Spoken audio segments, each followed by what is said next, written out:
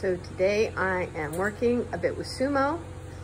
He's the one that I've been keeping in a rolling coat since November, and now it's the beginning of May. So he's actually the most complicated to do, even though I often don't have much to do, and that's because I can't just know from looking at the calendar exactly what he needs done because I work with him every couple of weeks. So how I go about deciding what work needs to be done is first, I just take a look at what I can brush up with my hand. So I can see, okay, there's some light fuzz on his head. So that's something I'm gonna want to address. I could do that in a couple minutes. Um, here, stand up, buddy. Then, you know, I look at his top line and if there's some long stuff I can take off there, then maybe I pick at that a little. Stand up, buddy.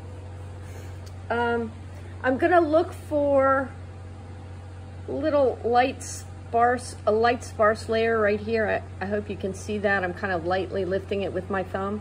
That's something I could take off with a stone to have new coat growing in and smooth down what I have to get a better finish and to make sure that his neck is nice and tight. I'm gonna be showing him in about three weeks, so I'm gonna do some work there.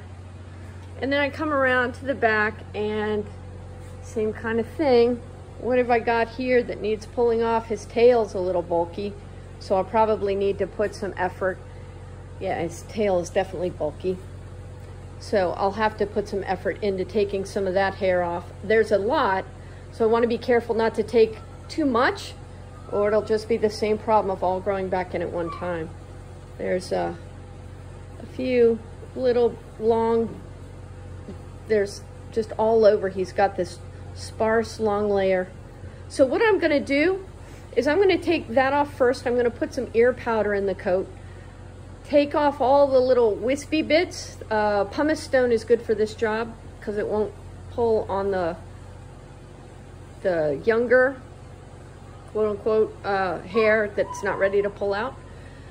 And then I'll give him an all over bath. He has a hard enough coat that it'll lay back down in time uh, no problem for the shows at the end of May.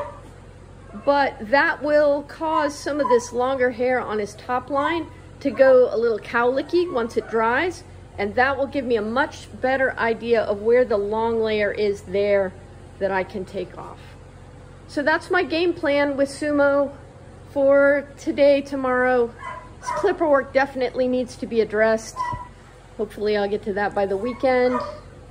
Um, but even if I don't, it's less important that I have the clipper work done than it is that I keep taking this layer out. Um, so when I have a day or a week where I don't have as much time to put into the coat, uh, part of grooming is the prioritization and knowing I can catch up on the clipper work anytime. But if I let the coat get away from me, then I can't just can't just catch that up.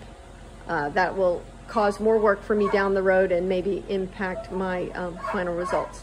So, hope that helps. If you have any questions, please uh, go ahead and drop it in the comments. And um, here we go. We're getting close. We're getting closer and closer to the, the big show weekend. So lots of little details coming up between him, my rotated dog, and the other dogs that I've section stripped.